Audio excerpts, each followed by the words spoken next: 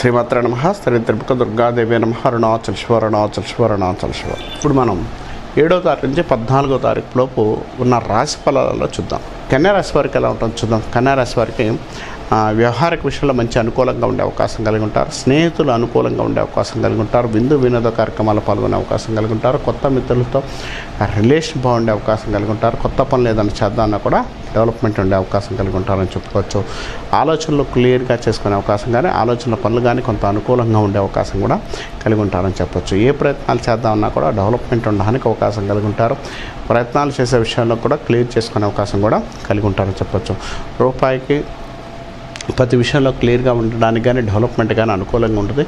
Love affairs ఎక్కువగా నడిచే అవకాశం ఉంది. ఇష్టపడ్డ వ్యక్తితో ముందుకెళ్ళే అవకాశం కూడా రాశివారు వారు ఎక్కువ కలిగి ఉంటారని చెప్పుకోవచ్చు.